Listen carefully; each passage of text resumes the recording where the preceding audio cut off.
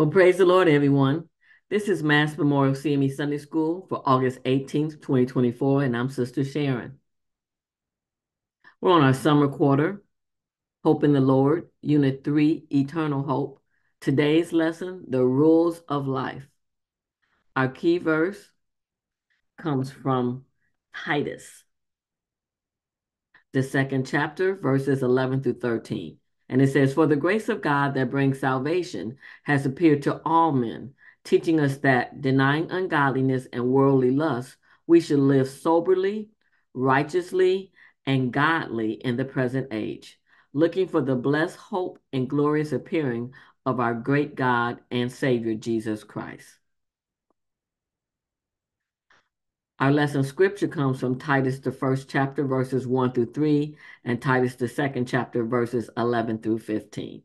Now let's do some background. So the writer of Titus is Paul. We know his Hebrew name was Saul, his Roman name was Paul. He was Jewish, but born a Roman citizen. He was born at Tarsus in Cilicia. He is a tent maker by trade, a Pharisee, and a member of the Jewish Sanhedrin, apostle to the Gentiles a defender and advocate of Christian faith. He wrote 13 letters presented in the New Testament. And so we, we know that um, Titus is one of those. And there are three great missionary journeys, and we can see that in Acts. Now, just a little bit about Titus. We'll talk about him more, but just for a couple of bullet points. He was a Greek Gentile, and we can see that in Galatians 2 3. And also, Paul called him a true son in our common faith. And that's found in Titus 1 4. So he was a spiritual son or a son in the ministry of Paul. Now, we are introduced to Titus by Paul in his second letter to the Corinthians. And in 2 Corinthians 7 5 through 7, it says, For when we came into Macedonia, we had no rest, but we were harassed at every turn conflicts on the outside, fears within. And you all might remember a couple of weeks ago, we talked about when they were in Macedonia. Okay, so he's talking about that situation with the Corinthians. And then verse 6 says, But God, who comforts the downcast, comforted us by the coming of Titus. So Titus came and he provided comfort for them. And not only by his coming, but also by the comfort you had given him. He told us about your longing for me, your deep sorrow, your ardent concern for me, so that my joy was greater than ever. So basically, we have that Titus comes and he provides comfort just by his presence, but also just in his giving a report about the Corinthians and how much they um, longed for Paul. It goes on in Second Corinthians in the eighth chapter, verse 6 16 through 17 and verse 23a. And it says, So we urge Titus that as he had begun, so he would also complete this grace in you as well. But thanks be to God who puts the same earnest care for you into the heart of Titus. For he not only accepted the exhortation, but being more diligent, he went to you of his own accord. And then verse 23 If anyone inquires about Titus, he is my partner and fellow worker concerning you. So we see that Titus was with Paul um, with the Corinthians, and then he stayed behind with the Corinthians for a while. And then also now we're going to see um, where he's headed, and that's where our lesson is. Now, the letters of First Timothy, Second Timothy, and Titus are referred to as the pastoral epistles. So again, we talk about that Paul wrote 13 um, books of the Bible. And so these three are called the pastoral epistles or letters. And these three letters and First Timothy and Titus were written about the same time between 63 and 66 AD. Okay, they were written by Paul to his two spiritual sons who were serving in pastoral roles within churches. Okay, so he wrote to Timothy and Titus approximately at the same time. Here's an excerpt from the Tony Evans study on Bible commentary, and it says, Titus was one of the apostle Paul's sons in the ministry. Paul sent him to lead the churches on the island of Crete. And then he wrote this brief letter to equip Titus to effectively lead them in serving the body of Christ. Paul explained to Titus the importance of leadership, noting that part of Titus's responsibility as a pastor and spiritual leader was to develop leaders who would help the church fulfill its role. This included encouraging the older men to disciple the younger men and the older women to disciple the younger women so that the members of the body of Christ could help one another grow. So again, Titus was one of Paul's sons in the ministry, and this letter was written to help him um, in his role as pastor and as a spiritual leader to help choose leaders, how to choose leaders, and then how they need to be equipped. Now, he was Titus was sent to Crete. And so here's a map so that we can see um we see where Corinth is, okay? And then you'll see that Crete is an island in the Mediterranean Sea. Okay, Crete is an island in the Mediterranean Sea. And it was supposed to have many cities. So one person said 100 cities, but they were thinking that they might have rounded that, but they know that this, it was at least 20 to 40 cities in Crete. Now, why was this a task, everybody? Because you're like, okay, you're going to go and minister to Crete. Here's why it was a task. Here's why this was um, a, a large um, responsibility or a large thing for um, Titus to do. There was a Cretan philosopher and poet named Epimenides, and he said, The Cretans, always liars, evil beasts, idle bellies. That's what he said. Now, this is a whole paradox about what he said, and I'm not going to go into it too much, but he was a Cretan, and then he basically called all Cretans liars. So if he called all Cretans liars, he was calling himself a liar. So then if he's a liar, then the statement that he made is also a lie, which then means that all Cretans must tell the truth. So they go, you can go back and forth and back and forth.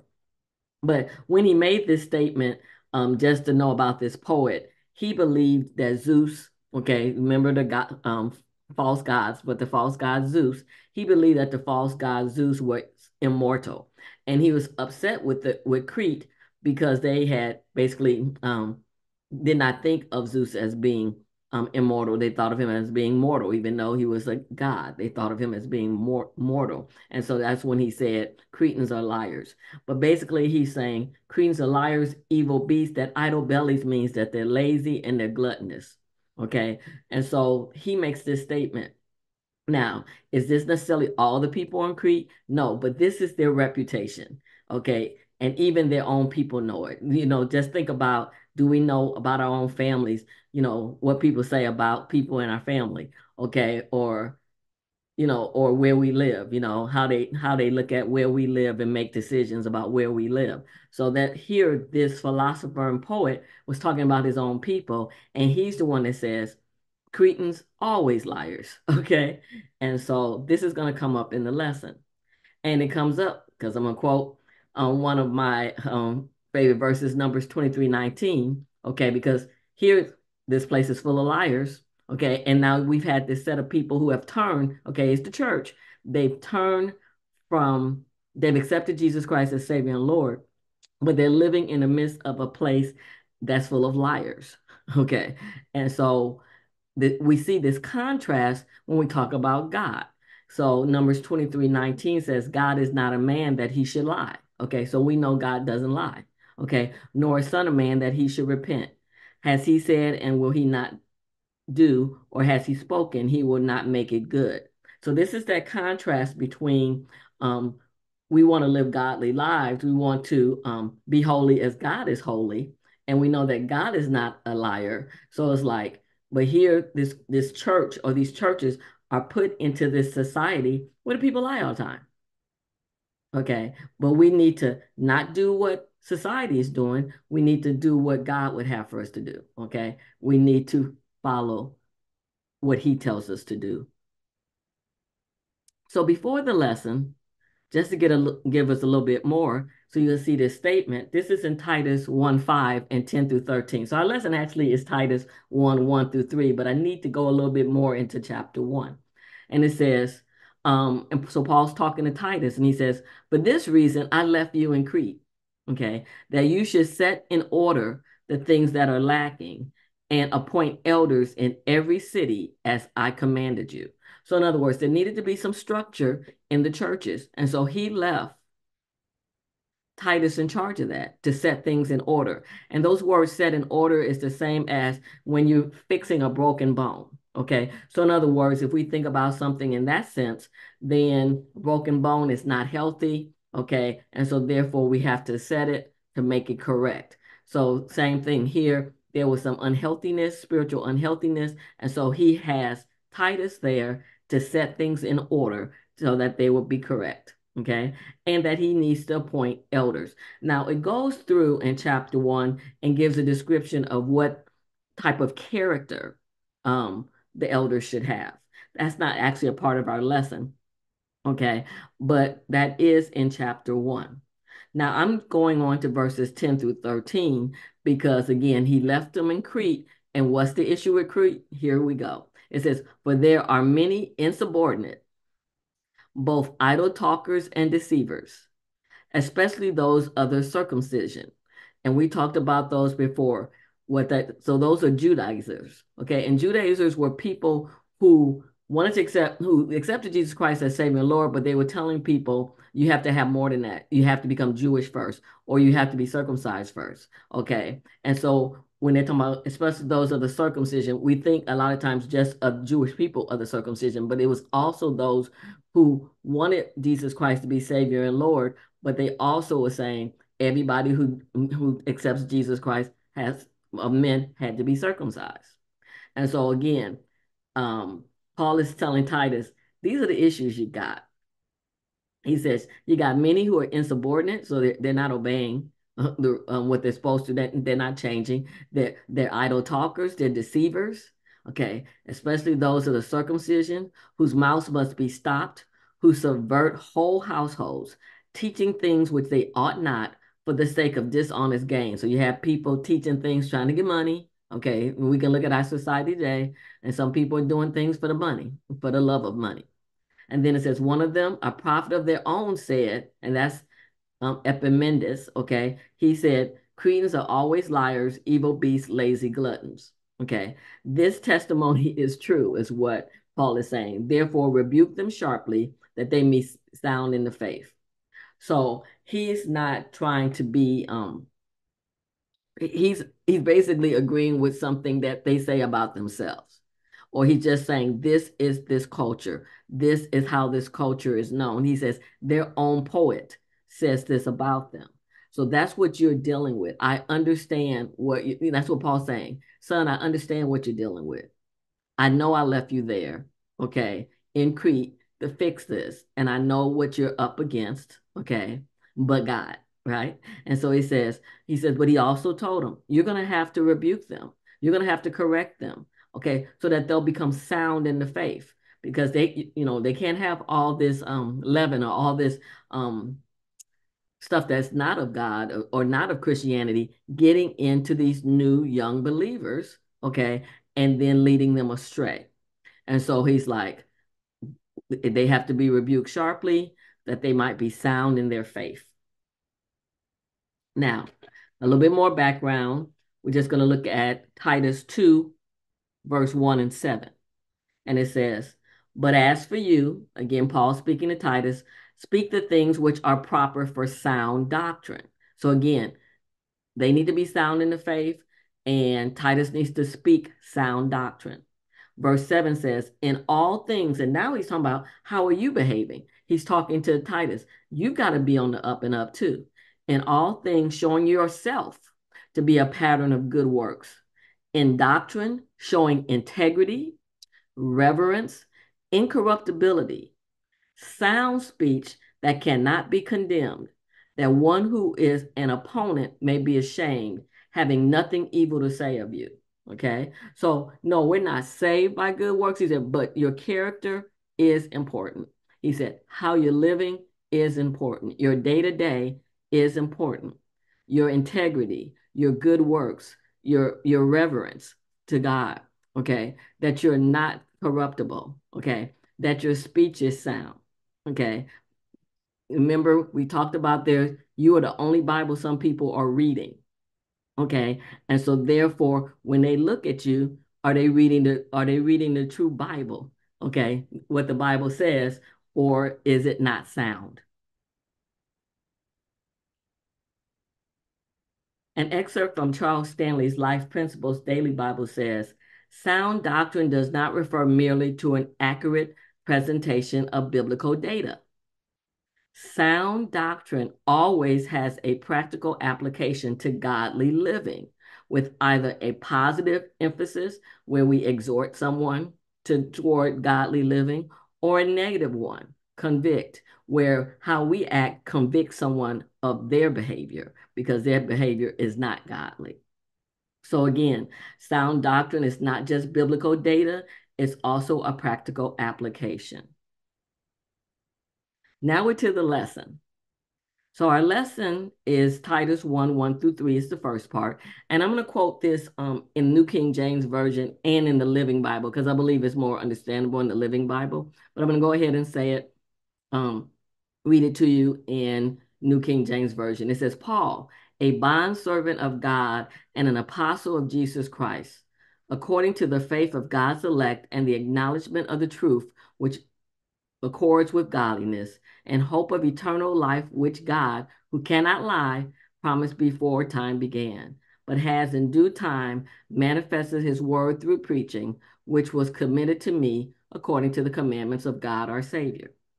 So, first, before we look at it in the Living Bible, he says, Paul, a bondservant of God and apostle of Jesus Christ, he says, I do this because I am submitted to God. I, this is not about me. Bondservant is like the lowest form of slavery. He's saying, I am, God is my master. Okay. He says, okay. He is Lord of all. He says, Apostle, I'm a messenger for Jesus Christ. He said, It's not my message, it's Jesus' message. Okay. And so that's where he starts off. Now, if we look at this in the Living Bible, they actually use the word slave. It says, from Paul, the slave of God and the messenger of Jesus Christ. He says, I have been sent to bring faith to those God has chosen and to teach them to know God's truth, the kind of truth that changes lives. Okay, we know the word says, and you shall know the truth, and the truth shall set you free. Okay, we also know the word of God. If other verses, John 17, 17 says, Sanctify us through thy truth. Thy word is truth. So he says, I'm here to teach basically the word of God, you know, the truth, okay, the kind of truth that changes lives so that they can have eternal life, which God promised them before the world began. And he cannot lie. So it's important when Paul is talking to Titus that he makes that statement, and God cannot lie. Because remember, Titus is dealing with a whole set of people who lie or a lot of people who lie. There's probably some honest people in there, but a whole lot of people who are, or at least known to be liars. So he's letting him know God is going to do what God said he's going to do. God's going to do it in his timing. Okay. He promised it before the world began. It will be done because God cannot lie. Verse 3 says, And now in his own good time. Now, in the Living Bible, it says on good time. In the New King James Version, it says in due time. I believe it's in the um, New International Version, it says um, in the appointed time. And we're going to talk about that, but basically says, and now in his own good time, he has revealed the good news. Okay. And we know that good news is about our Savior and Lord Jesus Christ and permits me to tell it to everyone. By command of God our Savior, I have been trusted to do this work for him. Okay, so this is Paul in his introduction. He says, I am a slave and I am a messenger. I'm here to present God's truth, and God's truth will change lives. Okay, and God has promised um, us eternal life. Okay, He promised that at the very beginning, before the world began, and we know it's going to happen because God is God and God does not lie. Remember Numbers 23 19. God is not a man that he should lie, nor the Son of Man that he has to repent. He says, and he's going to do that in God's timing. Okay. And that's what it basically says in this um excerpt from the Quest Bible called Appointed Season. it says, sometimes we understand God's timing, other times we don't. Galatians 4 4, 1 Timothy 6 15. Paul's point is that God always works according to his purpose. Always. So it's going to be in God's time. Okay. But it's going to be according to his purpose, inviting us to accept eternal life through Jesus Christ. So God promised it. You know how that the saying says, God promised it, I believe it, that settles it. Well, really, God promised it, that settles it. We need to believe it, but it's already settled. Once God says it, it's settled. So it will happen in God's own good time or God's appointed season or in due time. Just like um, God brought Jesus Christ, there was a due season for Jesus to appear um, in Bethlehem. Okay, there was a due season. It was God's timing for him to send his son, um, Jesus Christ.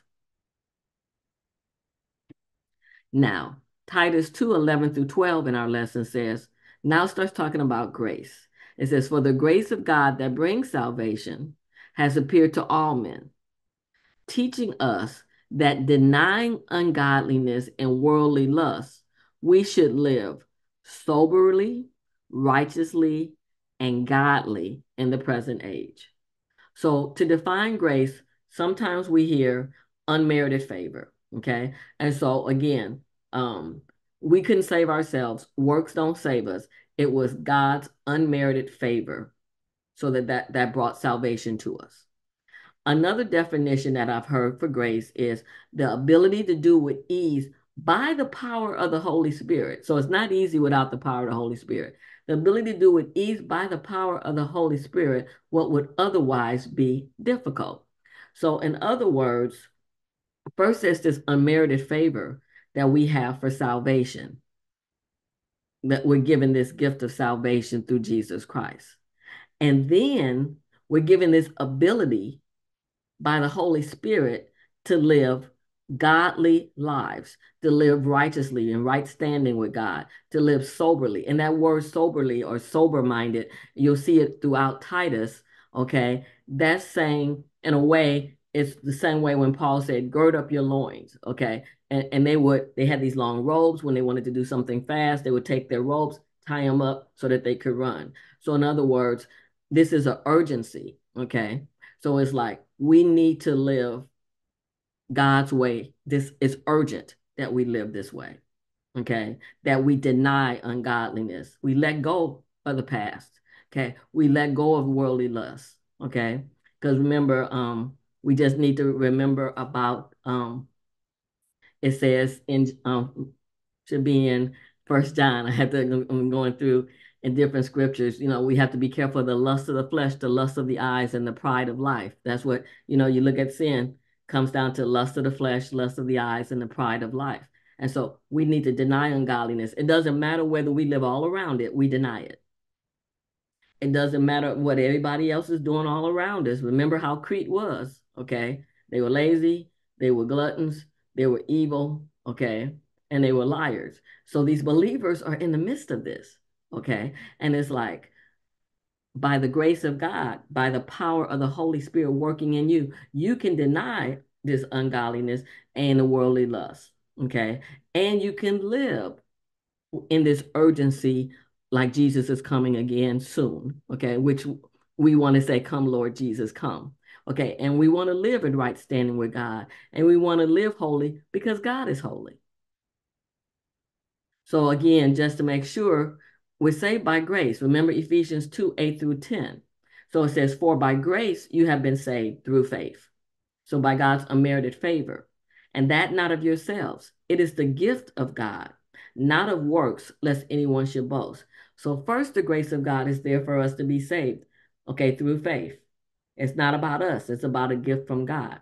Then verse 10 says, For we are his workmanship, created in Christ Jesus for good works. So we're not saved by good works, but now that we're saved, we need to do good works. We need to show what our Father looks like. Okay, we're supposed to be our, our Heavenly Father's children. And so now, by grace again, by the power of the Holy Spirit, we can do good works. We're created in Christ Jesus for good works Ephesians 2:10, which God prepared beforehand that we should walk in them. So then I have an excerpt from With the Word that says, God's grace not only saves us, but also teaches us how to live the Christian life. Those who use God's grace as an excuse for sin have never experienced its saving power. Romans 6 1 and Jude 4. The same grace that redeems us also renews us so that we want to obey his word. Titus 2:14. We want to obey his word. We want to live for him. Okay? Now, I said Titus 2:14. Now we're going to actually look at Titus 2:14 and 13. And it says, "Looking for the blessed hope and glorious appearing of our great God and Savior Jesus Christ, who gave himself for us, that he might redeem us from every lawless deed and purify for himself his own special people. You know, sometimes they call us a peculiar people, zealous for good works."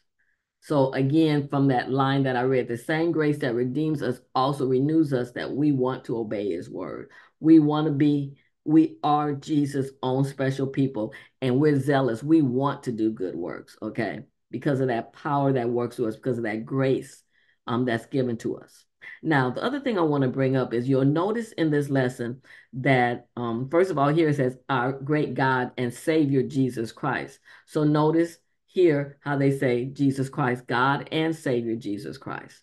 But one of the things that you'll notice in this lesson, you keep seeing Savior. And this is important dealing with the people in Crete because, again, they had false gods, not the Cretan believers, but there were false gods all around them. And even in their literature and their poetry, they would call these false gods Savior. So they had to come and say, no, no, our Savior is Jesus Christ. God, our Savior, is Jesus Christ. And so they had to re-emphasize this. Paul was re-emphasizing this with um, Titus so he could emphasize it with the churches. So that, you know, I mean, again, they're in the midst of this and they've got to get the world out of the church. Okay. The, okay. How we say in the world, but not of the world. An excerpt from the Jeremiah Study Bible says, these verses demonstrate the timelessness of God's grace. In the past, it appeared to all men when Christ was born into the world. In the present, his grace teaches us how to live godly lives. In the future, it will appear at the glorious return of Christ. For the believer, God's grace is inescapable, and praise God that it is inescapable, that we have this unmerited favor of God, and we have this power to do difficult tasks by the power of by the power of the Holy Spirit. Our last verse in our lesson says, here's again Paul talking to his son, speak these things, exhort and rebuke with all authority. Let no one despise you. And that um, reminds me of other places in the Bible where it says, let no one despise your youth um, when they were um, but even whether he was young or not, we know he's a spiritual son, but he says, Let no one despise you. You are the spiritual leader that I have left in charge of these churches. You are the pastor of these churches. He said, You need to make the corrections, rebuke where you need to rebuke. Okay. He says, Exhort, so encourage where you need to encourage. Okay. And remember, you have the authority to do so. Don't be timid about it. You know, go ahead and handle it.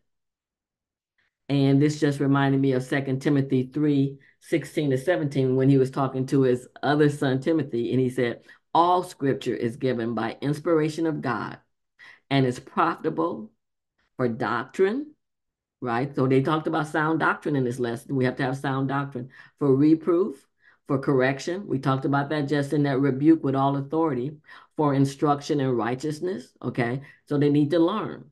They got to unlearn what they've been living in okay, and learn instruction in righteousness, that the man or woman of God, I'll put that in, may be complete, thoroughly equipped for every good work. Okay. So he told them, you got to speak these things, you got to exhort and rebuke with all authority, and don't let them despise you. Stand up. Stand up, you know, just stand up. So just to end this lesson, this is an excerpt from Word and Life Study Bible called the Genuine Item. And one thing about Crete, they said they actually were manufacturers of jewels. And there's a place in um, Titus, and we're going to be in Titus next week too. So it's kind of be to be continued because we're going to be in Titus, the third chapter next week.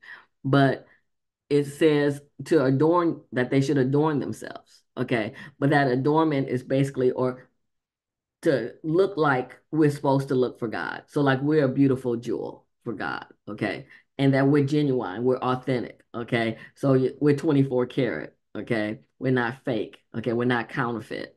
So, we're being authentic, we're being genuine, and we should reflect that attractiveness of God okay, as this beautiful jewel. And they understand that talk because they were jewel manufacturers or or they they dealt with jewels. But it says in this excerpt, as we read Titus, we need to ask, what are the poets of our day saying about our culture? Okay. What is the moral reputation of our society? Mm. What is the spiritual climate? Like the Cretan believers, we need to speak the truth and live the truth. And you know, everybody always say, not your truth. Okay. You know how people say, I'm living my truth. Their truth might be like them Cretans and be Cretans that weren't believers and just be lies. Okay. Okay. It says we need to speak the truth and live the truth. Okay. And Jesus Christ is the way, the truth. He's the way, the truth, and the life. And no one comes to the Father except through him. So again, like the Cretan believers, we need to speak the truth and live the truth. When people look at us, they need to see authentic Christianity, not a lukewarm, accommodating lifestyle that stands for nothing. We need to make the gospel attractive in such a way that unbelievers will be drawn to the matchless. And you think about that beautiful jewel and the light that comes off of it, light of the world. And that light of the world is Jesus Christ. So this is our lesson for today, rules of life, okay? That um, we need to live. Okay, we need to speak the truth and live the truth. Okay, and we need to live soberly, righteously, and godly lives, showing our Lord and Savior Jesus Christ. This is our lesson for this week. Be blessed. loving Christ. Sister Sharon.